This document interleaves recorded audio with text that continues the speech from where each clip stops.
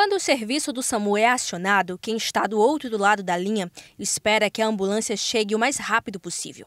Afinal, cada minuto diminui a chance em quase 10% da pessoa sobreviver em casos de pacientes de parada cardíaca, por exemplo. Um minuto pode ser a diferença entre a morte e a sobrevivência. Em Balsas, esse tempo-resposta é afetado porque as pessoas no trânsito não dão passagem para a ambulância quando solicitado. Então as pessoas de Balsas, os condutores, né, moto, carro, eles têm uma certa resistência em abrir o trânsito. E isso causa um prejuízo, principalmente para quem está lá ao aguardo do socorro. Dar passagem para ambulância ou qualquer outro do serviço de urgência não é mera formalidade. Esta é uma situação prevista pelo Código de Trânsito Brasileiro e pode gerar penalidades para quem infringir esta lei.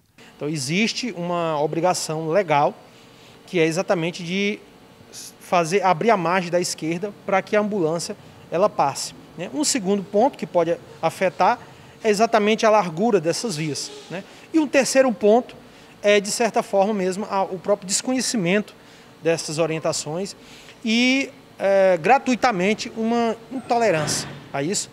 E às vezes o condutor ele vê no retrovisor, ele escuta a sirene, ele escuta a buzina, mas ele não abre o trânsito, ele permanece lá é, de forma gratuita e proposital.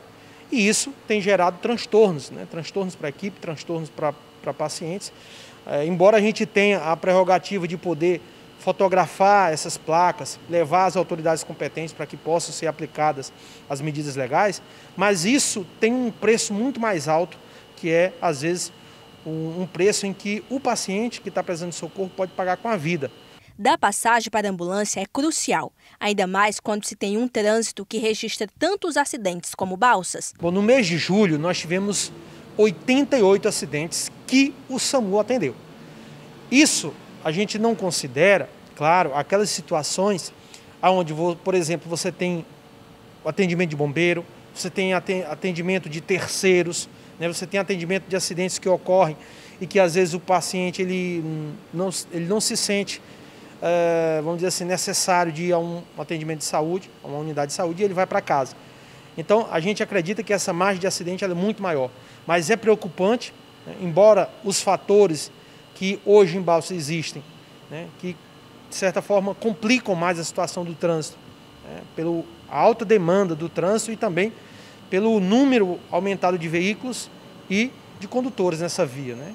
Além disso, o gestor do SAMU alerta sobre a importância do uso consciente dos serviços de emergência e o perigo dos trotes. Nós já tivemos aqui experiências de variadas formas, desde chamados para pacientes que não querem utilizar um veículo próprio, ele, não, ele tem condições de ir no veículo próprio, mas ele não quer, ele quer ir de SAMU.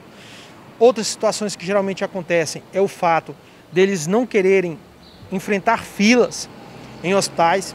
Né? Isso preocupa porque eles chamam o SAMU no intuito de serem levados diretamente para o atendimento dentro da unidade hospitalar.